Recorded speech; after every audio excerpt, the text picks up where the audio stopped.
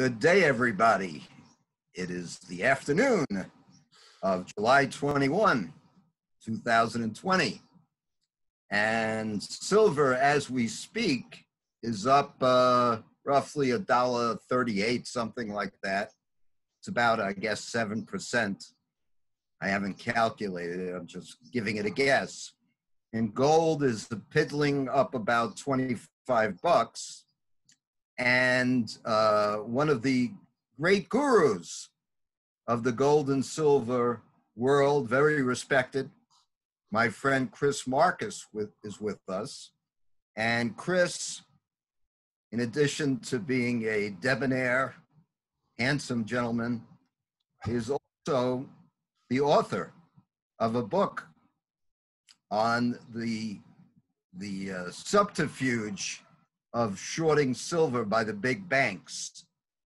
And his book is called The Big Silver Short by Chris Marcus. Chris has done tremendous amount of work on this subject. He knows more about it than I do, and I kind of read more than most people, I would say. But uh, on this subject, he knows more than I do. Uh, but let's start off by giving uh, the audience a little bit of background on you, how you first got into the financial world. First of all, as a mainstream guy, in other words, part of a criminal cabal, um, and then kind of began to see reality of what you were involved in and how you then transmogrified into the Chris Marcus that you are now. So well, tell us. I appreciate you having me here on your show today, Handsome Bob. Um, it's been nice learning a lot about radio from you, especially in the past year. And in terms of the silver thing, it was never. Uh, I don't know that one plans for a career in the silver market. Uh, I mean, I'd gone to finance undergrad. My first job out of school was with Moody's the bond rating agency that still has US debt, AAA rated. Then I was so bored there. It never made sense because we were rating these asset backed commercial paper programs, which were essentially the type of thing Enron was doing. Um, in fact, Enron blew up within a couple months of being there. I, at the time, thought I had escaped to Wharton's Business School um, where I learned Keynesian economics from Jeremy Siegel and was prepped for the banking system. Fortunately, I did not end up joining a bank aside from an internship at Merrill Lynch. Uh, ended up trading equity options for Susquehanna, which was kind of like the we were like the smart dorky kids. I didn't like really know how to talk to people all that easily, but we're good with math and you know if you can be trained a certain way so I felt the option training was really helpful because you know it's in life there's what maybe we think should happen or what we think is fair and there's what does happen whether we like that outcome or not and reconciling the two. Um, i felt i was trained really well with that. So when the housing bubble collapsed in uh, 2007 and 2008 I found it odd how all of our, you know, economic geniuses like Ben Bernanke and Tim Geithner and Lord Paulson, you know, none of they're all talking about how is the perfect storm. Yet the guy who actually trained me as an option trader, who was a really someone I knew well, was really intelligent, really uh, respected, and he sent me a couple Peter Schiff videos. In fact, I remember that day on the trading floor. It was March, uh, early March of 2009, the day the uh, market went down to 666 level. Um, but that was when Bernanke launched what was, I guess, QE1 or part the second part of QE1. And I remember this guy who had trained me, him and uh, another fellow were talking about how soon we were going to be paying $11 for a loaf of bread. But it was, you know, maybe a small thing, but to me it was always the turning point because I remember thinking, all right, this sounds different than what I've always heard. It's different than what I've been trained with, yet here's someone I respect. Like, it's like, well, should I just like discount it or at least why is he saying this? Um, that was when I was introduced to Austrian economics, which led me to gold. I find if you And that was through Pete, that was through Peter Schiff. Yeah. And it's funny because I'm interviewing Peter Schiff tomorrow. So I'll uh, let him know you gave him some credit uh, because he also uh, was the precipitant of an epiphany for me in the same regard. In fact, Peter talks about the fact that of all the things Americans are ignorant of, which is a very long list, uh, economics is probably numero uno. And uh, a guy like you, who's bright and went to top schools, you, of course, learned about John Maynard Keynes. You learned about Paul Samuelson. You learned about Benjamin Bernanke, but you didn't learn very much about Ludwig von Mises, Hans Sennholz, Friedrich von Hayek, Murray um, uh, Rothbard. Rothbard. I'm losing my mind here. Murray Rothbard You're and too smart for your own good, handsome. That's boss. You right. can't keep it all in one place. and and Henry Hazlitt, the author of a great book called Economics in One Lesson. All those people were kind of hidden from view.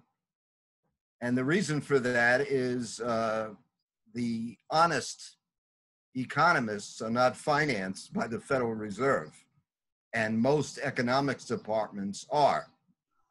And so here you are getting all of that BS in school. Some of it has a value, if not just learning everything that isn't true, that has a value also. But it also says something about your character that, unlike most people who are robotic drones, you actually began to question things. And the reason you question things is because you have character. And when you have character, you care about what is true and what is not true. Uh, unfortunately, that is rare today. And for that, I give you great credit. So let's take it from your working in the Wall Street establishment. What was the first signs to you, other than the crashing of the housing market, that something was missing in terms of your um, your plethora of knowledge, which was incomplete? Yeah, well, it's it's kind of like in The Big Short, that scene where they go down to Miami, they talk to the guys that, and you know, sees the stripper that's levered up on five houses, and it was like that's when it really sunk in.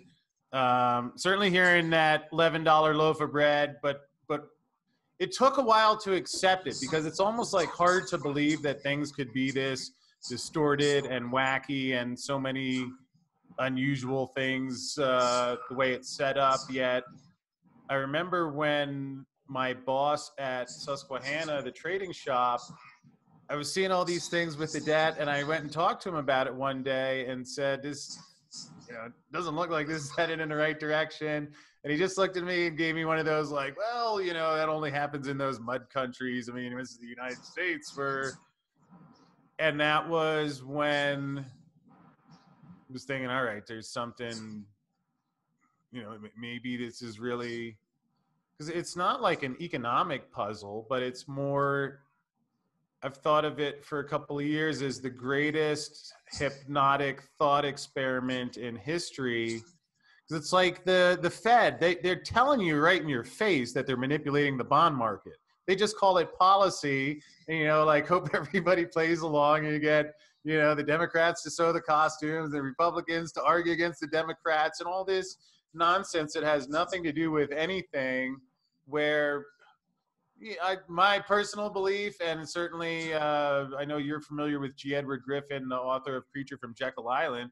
Who talks about whether it's the same bank funding both sides of the war or both sides you know you get people angry against each other and you know things go off off kilter. And i mean they, they both start a lot of wars spend money lodge us into debt. I don't i don't believe it's designed to be the ideal we were sold that here's uncle george and uh, bubba bill and their I mean, I'm not trying to, you know, sit here and pick on politicians today, but to the degree you can see what's happening financially and you know, I had this introduction into metals and I had an option trading background. So when I got that note in my trader notes, October of 2010, I believe, maybe September, probably September, that Ben Bernanke was going to launch QE2.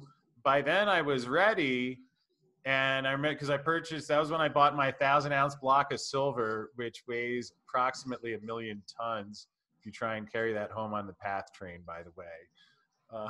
Uh, but I started buying call options on GLD and SLV. And in fact, part of my decision to leave Wall Street, well, on one hand, I just found this was really interesting and a lot more fun than what I was doing. Um, also, I thought I was kind of home free financially because I continue to wonder if in 2011 we weren't close to seeing the dollar go off the rails back then, but were it not for selling a lot of paper contracts to hammer both gold and silver from their highs, maybe what we're seeing happen now was close to happening back then. Um, and perhaps the ability to sell paper, gold, and silver that doesn't exist. Um, you know, that was one of the things in the book that I just released. We covered where I asked, you know, David Morgan, Andrew Maguire, Ted Butler, a bunch of other guys, for every piece of silver out there, how many people think they own it via one derivative or paper claim? And Handsome Bob, would you like to take a guess at that one? I have no idea. I didn't get an answer. I've not yet gotten an answer of less than 500. Mm-hmm. So it's set up for the ending of It's a Wonderful Life. And I mean, it's like, you know, I know sometimes. Ex- explain that to the audience the ending of It's a Wonderful Life and how you relate. That's the flaw of fractional reserve banking that all the Austrian scholars that you cited speak of. That anyone who's looked at this through history and is familiar that there's not a single fiat paper currency that has ever survived zero, where you start creating stuff out of thin air. If it sounds too good to be, tr- that's what I love about economics. If it sounds like, all right, so these banks like built a lot of condos that were completely uneconomic, and then Uncle Ben's gonna come along, you know, spin his like little dickery do, and we're all prosperous again. I mean, of course that sounds silly, and it's a broad day bank robbery just in uh, in disguise. So, you know, if you sell the same asset, you know, whether it's printing money, if you're rehypothecating something out of thin air, because we don't, we think we want money, but it's really the stuff that money can buy. You want a house, and there's. That, when you say rehypothecating, you mean that a bank is supposed to be holding something, for example, and then they go and sell it five or six or 10 or 20 times the same exact thing. Very no, five, five or six hundred times, or a thousand, right. or two thousand times. Right. Like Bernie Madoff. Exactly, not like Bernie. Exactly what? Yeah. He should be Secretary of the Treasury. At least he knows how to do a Ponzi scheme the right way.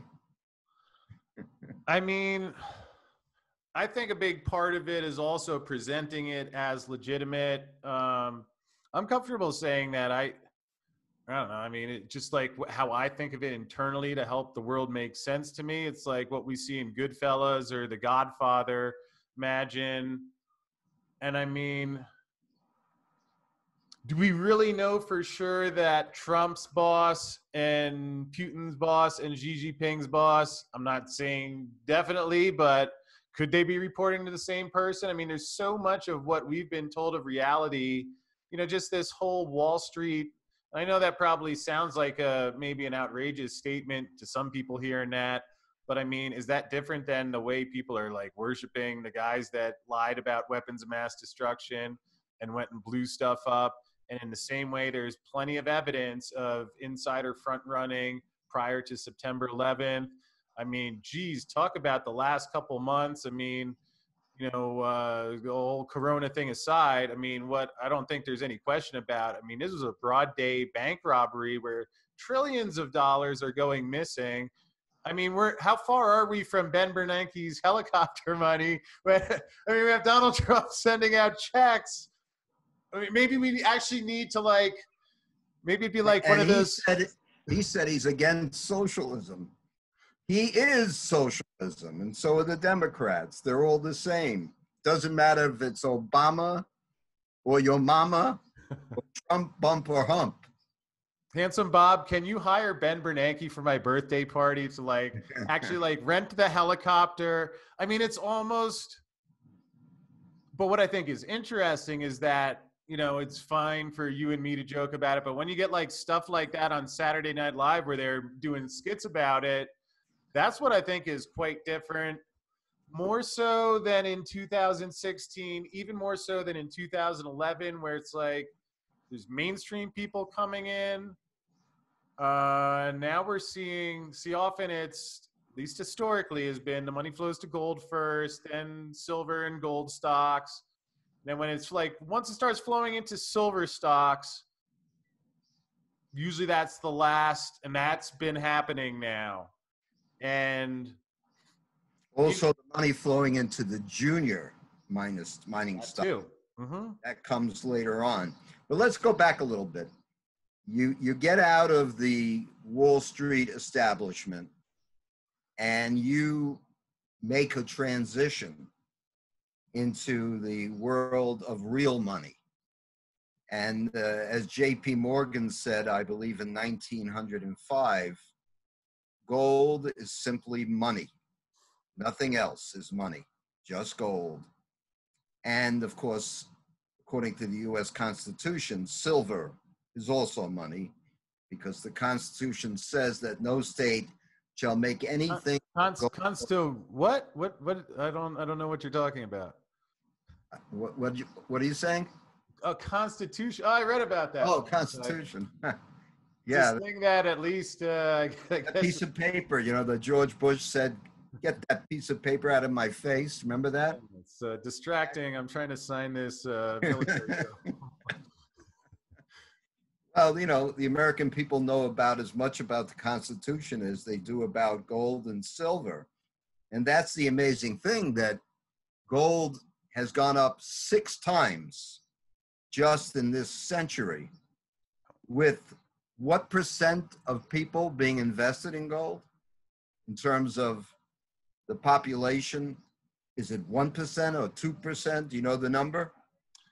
Well, I believe uh, it's actually recently because it's been quite low these last couple of years. I think it was like about a half of a percent, although I believe maybe the average was like one to two percent. So it's like even to get back to the average, but that's the thing is like, and especially why silver, silver, the market is so small. You,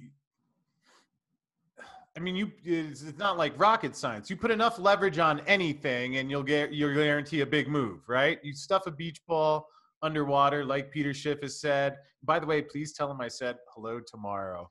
Um, Okay, we've, we've talked before, so you can tell him, uh, and I've let him know how influential he was in my career. And he had that great analogy where it's like you stuff the beach ball underwater. I mean, some of this is direct cause and effect. Now, maybe it takes longer than uh, an investment community that likes results next day, next quarter would like. I mean, you know, the silver distribution, I can attempt to guess what it is, and maybe it is what I want it to be or not. But I mean, it's going to do what it's going to do, and it's up to me to use the clues as intelligently as possible to say, all right, how can we take this? Because I think people are massively mispricing it. Um, and the best part is you don't have to be some hedge fund wizard to really take advantage of it. In fact, again, when I was trading equity options, that it's a bit short term by nature. Yet, even despite that, I found silver. I mean, we're accepting. We're part of the the reason there's an opportunity there is because it is the most manipulated asset possibly in history. So you know, but that doesn't mean it's going to go up on the, the schedule that we might think that it should or want it to. But, you know, for people. Tell, tell the viewers why the powers that be would want to manipulate the precious metals. Well, I think there's two layers to it where you have the banks and then the government. So I think the average banker is focused on his next bonus. You know, it's like I don't think they would care about race, about the weather. I mean, maybe I'm generalizing here, but I mean, it's that type of mindset, you know, and people say, well, can't they manipulate it up and down?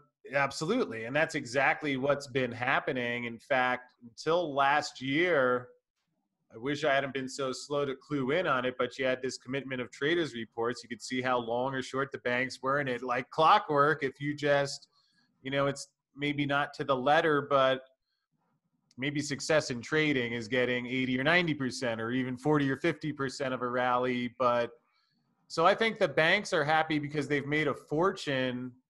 Bob, as you well know, as a uh, legal expert, and an investor, I mean, if I told you 100% confidence that the price of any stock is going to move even like 20 cents at a specific time, you can essentially through derivatives, you know, make a fortune from that, right? So the greed factor is one part of it, but what about the agenda factor? Well, so you, on the other hand, you have the government that likes to cheat and make money too although at least as best as I've been able to piece it together over the past decade, you know, if historically gold and silver prices are the it's like the thermometer telling you what hey, it's too hot, maybe we should turn it down. You know, it feels like it's 120 degrees in here, and you know, you're putting logs on the thing. We're all sweating because, but you know, you're building a fire because it says 20 degrees. Well, maybe it's it's broken and maybe it's being rigged. So you know oh well uh, i don't know gold's $1300 for the last couple of years. Why would anybody want that thing? Well you know when gold's now about to set a new all-time high people notice that. And that's the thing it's like you can lie to people for long enough and sometimes it can go on decades or maybe even hundreds of years but that's what i think is playing out now. I mean it's getting that's why you have new people. It's not just the gold and silver bugs. You have new money coming in because, like, what are they supposed to say? You pimp Jay Powell out there and he says, goes on 60 Minutes flat out lies. He said this is different than 2008 because the economy was strong before COVID. Then why was he doing repo lines since last September? And if it's so strong and this isn't the time to repay it, why didn't we repay it the last 10 years when the economy was supposedly roaring yet we were tacking on debt? Yeah the economy was so strong that they're suppressing interest rates at the zero bound because it's very strong. People cannot afford to make payments. That's why they're keeping it that way. And of course in 2018 when they attempted to elevate the interest rates the entire market began to crash even a lousy couple of a fraction of a percentage points was too much for the market. so we understand that gold is the canary in the coal mine. It signals that there's a lot of poison gas in the economy. And the reason why gold has gone up six times in this century is because we're in very serious economic trouble. And I know that you had on your program, you interviewed Bart Chilton, who was, I believe, a former Goldman Sachs guy who was the chairman of the CFTC, the Com- Commodities Futures Trading um, Agency. And tell us about that interview and what that proved. This was right before uh, or at least shortly before Bart Chilton passed away. Yeah, it was certainly a pretty big stunner. Uh, I guess in some ways, certainly changed my life. Uh, I mean, he was actually part of that book that I just released. Big, really, what, big silver short. The big yeah. silver short. Big silver short. and really the i mean partly how this came about like i i for a decade i've been studying this i've never seen anything trade like it. It never makes sense. If you try and match like the supply and demand or the events that are happening it just and that's why when i heard bart years ago i emailed him in 2011 uh, and the other commissioners uh, a couple whoever was my local congressman back then saying hey I'm, we're going to trading floor, I study gold and silver, and you know something not right here. He was the only one who wrote back, and it was interesting. He said you can reference some of the recent interviews I've done or comments I've made, which I I knew about, and and in those he talks about how he thought the market was manipulated. He talks about Andrew Maguire giving him evidence, and then it would play out. Andrew Maguire, who's a whistleblower in this case. You can still look at the transcripts online where he's walked uh, CFTC uh, guy through it. This was back in 2009. Bart came on my show. Because uh, I remember, like, of the people I was thinking to ask, Bart's name popped up, and I'd be like, "Wow, that'd be really interesting to hear what he had to say." And then you know, it's like I almost talked myself out of it with the, well, he's never going to come on here. He won't say anything. And really nice guy, really supportive. Uh, I, I know some people think he, you know, is part of the establishment or I think he also helps to factor in people's perspective. I mean, he was a government employee for most of his life. I didn't know that he worked for Goldman. Uh, I'm not. Uh, sure. I I had thought so. I could be wrong. I'm not sure if he did. I know he had a long career in government, so and I mean it's like I don't think I'm guessing that even during the time he was doing the investigation, he didn't grasp what so many of us are seeing now of like how wild this thing really is, especially given that it seems like we're seeing a run on the metal now. But it felt the honest per, uh, impression I got was he appreciated what I was doing. He was he appreciated that someone was following up. I think he did what he felt he could, and in that interview, he flat out. That's why it was so uh, important for everyone in the silver world because he confirmed what so many analysts, certainly Ted Butler, uh, Chris Powell and Bill Murphy of GATA who've been doing this long before GATA, I. By GATA, you mean the Gold Antitrust Action Committee that actually was on to this subject before you were. Oh, a long time before. I mean, I don't know if I ever would have found it if it weren't for those guys and Ted. Um, but I mean, it's like when you go and actually listen and you know, but it's like uh, it's, it's like if you say anything other than the stock market is great, you know, people look at you like you're a Fruit Loop. So it requires a little bit willing to stand up against the crowd. Although I guess that's the thing to and, and what's fun about investing is that well, really the best trade is like if everybody thinks you're wrong, but you know they're wrong, that's when you're getting great odds. And that's the thing. So you know, I know some people get frustrated if your buddies mock you because you're into gold or silver, but I would say, you know, every time, like, I mean, I know maybe I'm right, maybe I'm not. Well, I think we're going to find out soon enough.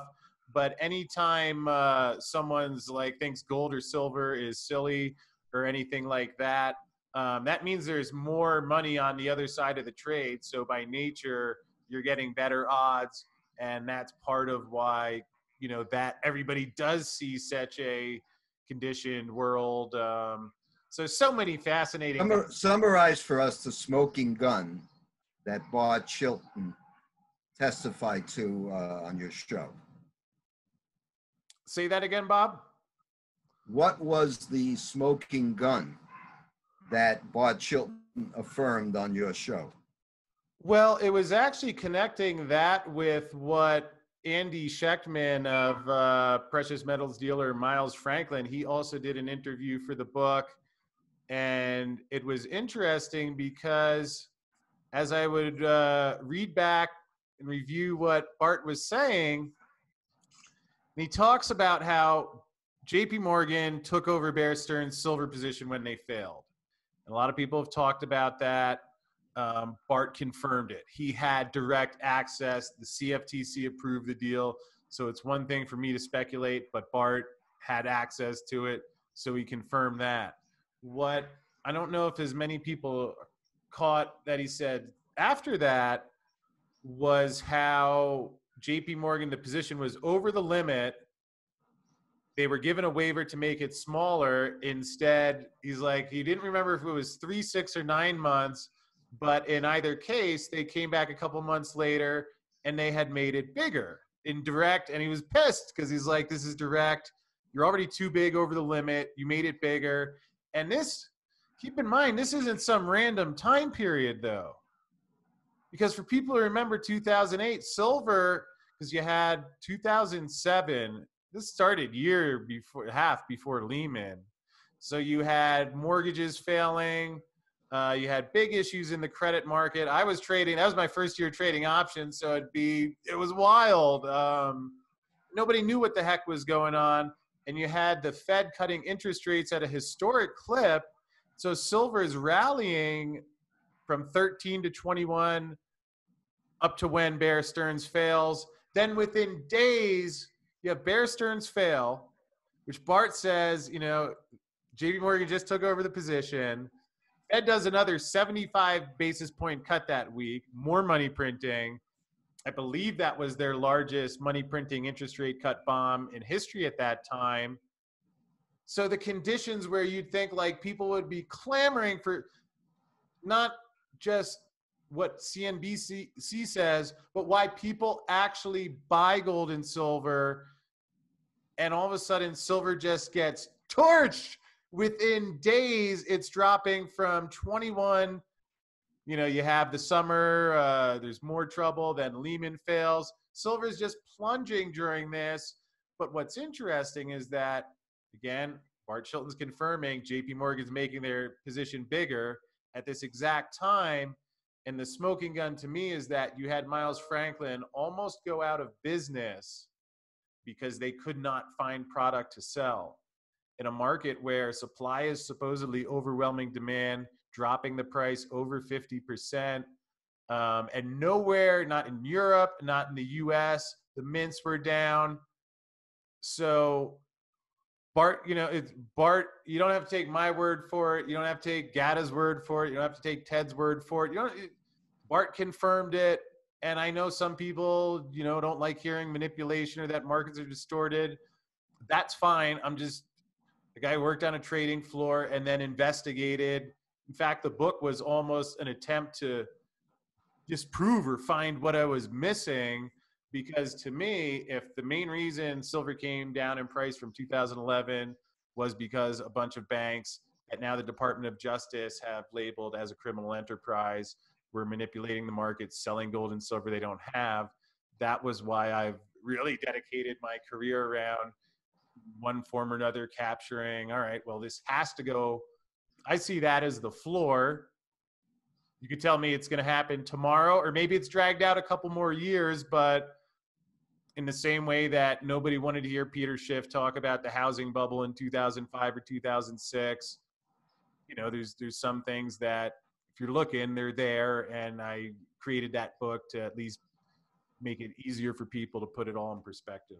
People who want to watch the Bart Chilton interview can uh, see it on behind you, it says Arcadia Economics. So they can just go on that site and watch your video interview with uh, Bart Chilton. Explain to the viewers the basic fundamental mechanics of how the government and the big banks are able to sometimes suppress the price of gold and silver and talk as if you're talking to an elementary school class. What about Handsome Bob if I make it easy enough that even a congressman could understand it? you like that one? Yeah, or, or, or a president. Yeah, well, I mean, I don't know if uh, let's not, you know, offend the audience. um, of, the, of either party, I might ask, I might add rather. So absolutely, either and all mechanics. of them. Uh, I'm going to see if I can get this chart pulled up here. Um, but basically, that was another thing that fortunately Bart confirmed because, you know, part of why it's so tricky, there's not, it's not the easiest stuff to track down. You know, it, they don't they're not helping you find these things. Um, but the basic version I had heard and as I studied came to believe sounded most plausible and which Bart confirmed is that like essentially at the big round numbers, like when it's near twenty dollars, which we'd call the handle. So a lot of people put stop orders in there. You know, it's just how people are, I guess. And so I mean, you know, so let's say you own a silver facsimile and you want to sell it, so you make sure you keep your twenty dollars. They'll place a stop order in there. So there's a lot of trading activity that happens around these big round numbers. And you have high frequency trading algorithms that, you know, accelerate things. So what I asked Bart was that, you know, what I've heard and come to understand was that let's say silver's at twenty dollars and five cents. You kind of nudge it a little, you could push it. Then once you get, you know, twenty dollars, nineteen ninety nine, nineteen ninety eight it's like you're taking advantage of like the artificial intelligence algorithms they kick in so you know it's going to plunge and what ted butler reports is that i guess he tracks jp morgan and every time you know you've seen like the the same banks selling and then buying it back cheaper and it's funny because when i asked this to bart you know he talks about it for a minute and he's like so what you'd say, what what you said, I'd say is a really good description, except that now because of the way the markets are set up, when it happens, the spoofs is the term that they call it. He said basically when they cheat, now they can get the market to movement bigger because everything is more levered up. You have more fast money, you have more Fed dollars, and when you say spoof, it's a spoof is like a head fake in sports. Spoof is what the Department of Justice has been getting them to plead guilty to, which I guess is like if you send out an offer or a bid and you get someone to think there's something there and then you pull it and you know you can kind of game the way people are going to react to that. I don't know if that's really false impression that that the metals are being sold when in fact no trade is actually executed. Is that correct? I mean, approximately. That's that's the gist of it. Um, I don't think that's really at the heart or the essence of the bigger crime here. Um, what is the essence? What's that? What is at the essence of the bigger crime? Well, whether you call it a crime or maybe, I don't know, maybe it's just the way markets work. But if you have people selling silver and gold that they can never deliver, then whatever you call that, I mean, that's to me what's worth being aware of, and why I continue to believe that we'll see some stunning moves in both gold and silver. You know, it's like since, I mean, you remember back in, you know, it used to be guns or butter, and then LBJ comes along. It's like, let's, it's a, we go buffet style, let's eat it all. So it's not an accident that the London Gold Pool, a very similar scheme, where you know when the U.S. was on the dollar, but everyone sees them, you know, going to Vietnam and spending money wildly. So there was a drain on the gold. It wasn't random coincidence that Nixon took us off in 1971, but by 1974 we had uh, futures contracts. So it was like from one scheme to another, and this one's unraveling in the same way.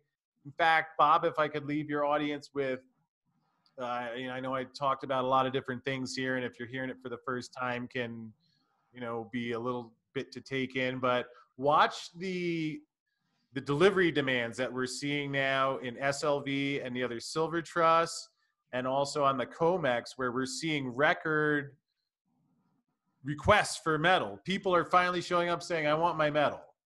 Explain what the COMEX is. Say again, please explain what the COMEX is. COMEX, the commodities exchange where gold and silver are traded.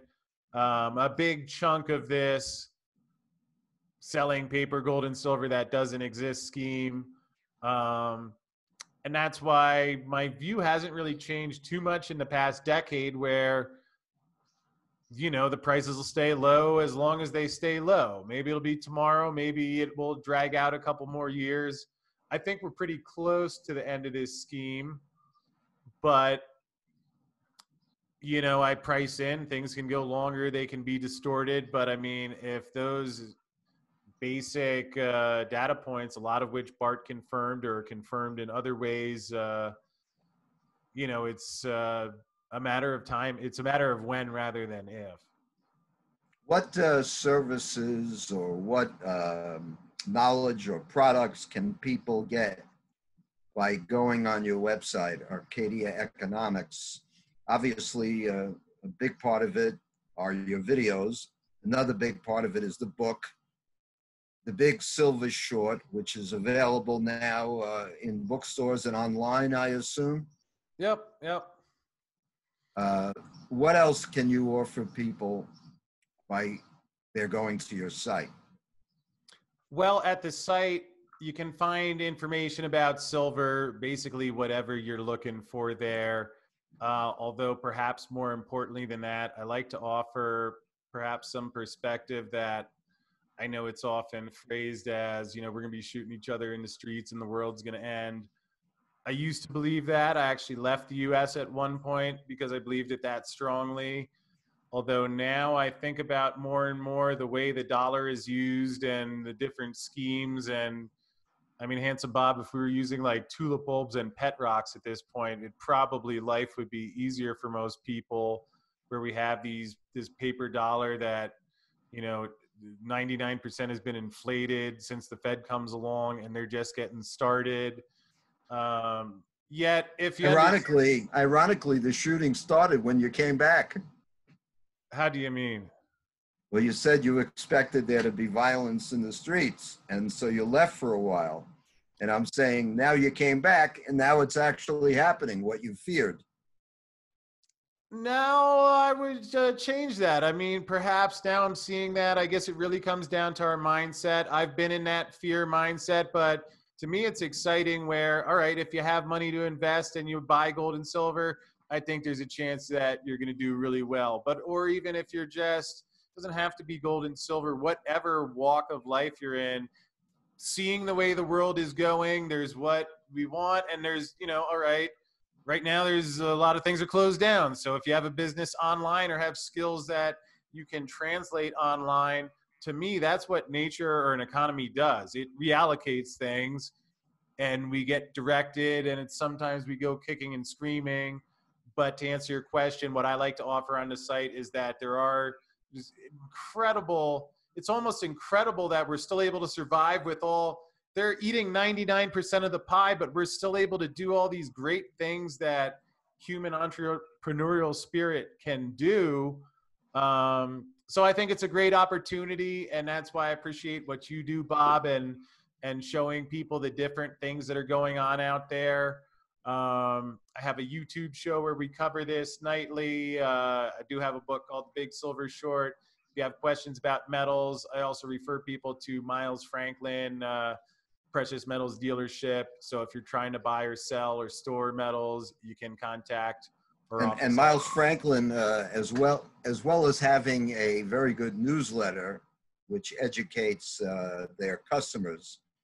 And besides the fact that obviously they sell precious metals, um, you also represent them and in uh, the sale of the metals, and they also offer storage facilities and depositories that at a low cost can safeguard the metals and actually trust that the metals you're buying will remain in your ownership. Is that correct? Yeah, and that's one of the reasons I partnered with Miles. I mean, I know some people might be thinking, "Well, is he just saying all this stuff because he sells metals?" Uh, I was I left Wall Street because of this long before I was doing with Miles Franklin. In fact, Bob, you've known uh, I guess it's uh, almost two years we've known each other now, and you've known it's not been like the easiest financial um, i mean i would have made a lot more money staying on wall street yet it was something that was fascinating and partly why i've stuck and continue to do arcadia. I remember walking through occupy wall street seeing you know the, the one guy with the ron paul t-shirt and another guy holding a sign saying a job is a right I get why people are confused and angry, and for the same reasons they got clobbered by a mortgage bubble that no very few warned about. Some did, like Peter. Um, I saw something similar happening, and the show is free. Uh, I, I, get to every email that comes in eventually. Uh, at least attempt to. Maybe I missed one here or there, but I felt it was important information that whether you're investing or whatever, you still uh, have a place where, and especially if you're interested in silver, is our uh, strong suit. Um, but I mean, I wanted people to be able to get that information, and uh, that's what. Also, silver uh, is referred to as the poor man's gold, and the average young person out there, maybe living in his parents' basement these days, isn't in a position normally to buy gold uh, for 1,900 or $2,000 an ounce, uh, but he can buy silver. I remember I had a friend who unfortunately was an alcoholic, and he would go to the bar. And in those days, silver was about four bucks an ounce. It was 15, 20 years ago. And I would tell him, for God's sakes, instead of having three or four drinks a night, buy three or four ounces of silver a night and do it on a regular, steady basis. Unfortunately, he never took that advice, and the alcohol eventually uh, led to his death. But uh, certainly for young people who don't have the money, would you recommend that they try to accumulate silver when it's still relatively cheap? I mean, I think investing in silver can be great if you have the right mindset and understand what you're doing. If you just, you know, if someone listen to this, you know, hour, whatever we've been talking, and they're just their eyes are glazing over, then there's probably something better to invest in. And I think that uh, was it Peter Lynch like invest in what you know, and is always a good thing. I mean, if you don't have a lot of cash right now, then by all means, I would not go on margin or leverage to get into silver. If there's ever been a, a, a, terrible idea in investing or a terrible place to to borrow money, because that that's just how silver has been for so long. So I wouldn't recommend that.